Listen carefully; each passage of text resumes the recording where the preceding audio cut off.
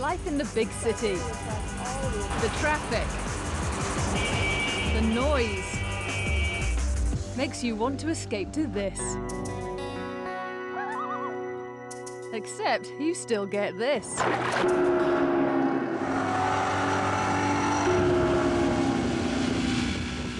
But if one man has his way, that might change. Monty Gisborne walked away from the city and a successful career to pursue his dream, to build this, the Loon. My concept from the outset would be kind of the idea of a camper on the water where people could live and sleep aboard and travel through waterways and do so under solar power. That was my dream from the beginning. People expect it to be straight, but it's not, and it looks Yeah. better when it's not. Yeah, it looks a little nicer. And Yeah. so in 2005, he started the Tamarack Lake Electric Boat Company. Basically, the whole Loon concept is that of a battery powered boat.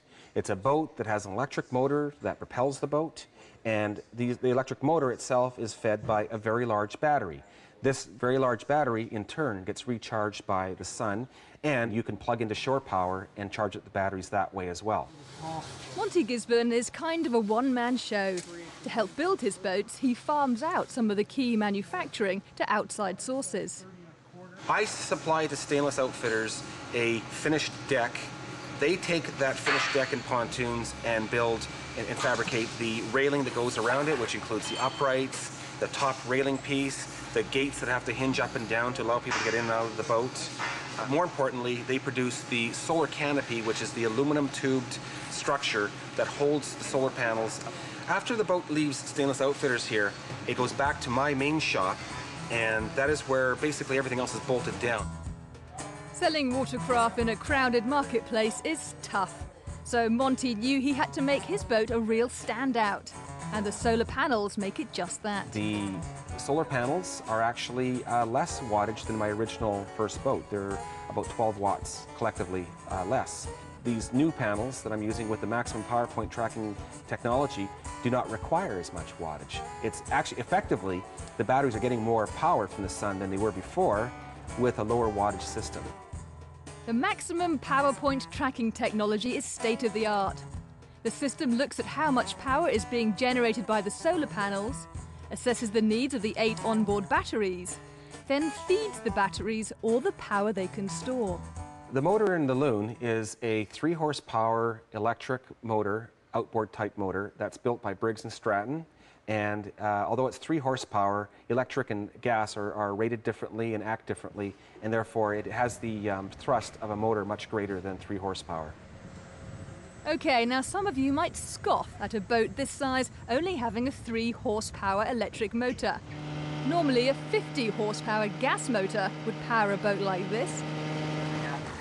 But this boat moves along quite nicely, thank you very much. Presently, we're moving along at about two knots. And right now, all of the energy that's going into the motor to propel us along at that speed is coming from the sun. Instantaneously, right now, the, uh, the sun is actually putting three amps of charge back into the batteries as well as propelling the boat along, which is kind of impressive when you think about it. The sun is pushing us along plus charging up the batteries at the same time. The Loon can very easily reach sailing speeds drawing power from eight large onboard batteries that have surprising longevity. Even if the sun were to turn off, or if you're traveling at night, uh, this boat can travel over 30 miles on the battery that's on board the boat alone.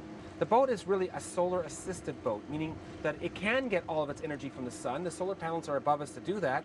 But if you wish to travel further, then the sun's able to provide for you on a day to day basis. You can plug into shore power and augment the sun's energy by plugging in. With only an electric motor propelling this boat through the water, every consideration was made to maximize its efficiency. The propulsion system on the Loon is a Kort nozzle, the same system that the Queen Mary II uses today.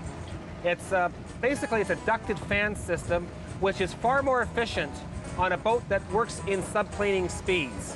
A Kort nozzle is essentially a, a, a tightly fit fan inside of a, a shroud, which causes all the energy from the battery to become thrust as opposed to turbulence. As advanced as the boat is, you don't have to be the captain of the Queen Mary II to sail her. It's a very simple system. Basically, you've got a forward and reverse switch You have a speed control here, and then you steer it left to right with a tiller.